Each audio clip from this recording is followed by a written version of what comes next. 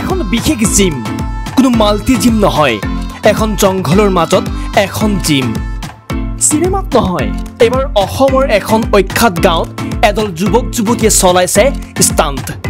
কেইজনমান যুৱকে প্ৰথমে কিছু পেলনীয়া সামগ্ৰীৰে নিজে জিমৰ কিছু সামগ্ৰী তৈয়াৰ কৰি বাঁহতলীত আৰম্ভ কৰিছিল এখন জিম।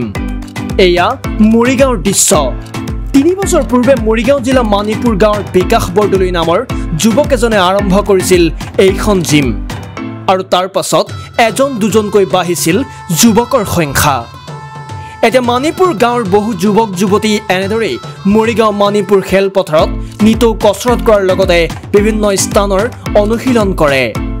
দুচকুত আছে বহু সপোন যুৱক কেইজনৰ।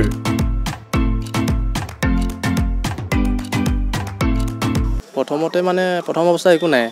ক'বলৈ গ'লে ঘৰৰ পৰাই ঘৰৰ সঁজুলি মানে এয়া তামোল গছ কাটি তাৰপিছত ঠেলা আছে এখন ভাঙি দাদা এজন আছে জিমৰ দাদাজনে এনেকৈ মোক কয় তেনেকৈ মানে খাব নোৱাৰো ন অলপ পইচা অভাৱ হয়। সেইটো কাৰণে ঘৰত যিটো নৰ্মেল হয় সেইটোৱে।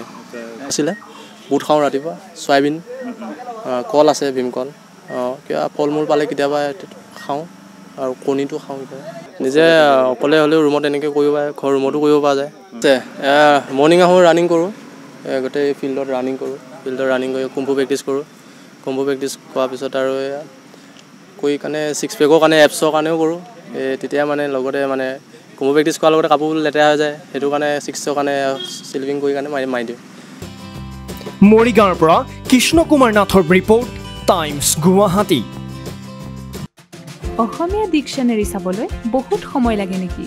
তেনেহ'লে আজিয়েই ডাউনলোড কৰক লুকাভাকু এপ য'ত পাব এক লাখৰো অধিক শব্দ অৰ্থ ৰচনা ব্যাকৰণ আৰু বহুতো। তেনেহ'লে দেৰি নকৰি আজিয়েই ডাউনলোড কৰক লুকাভাকু এপ।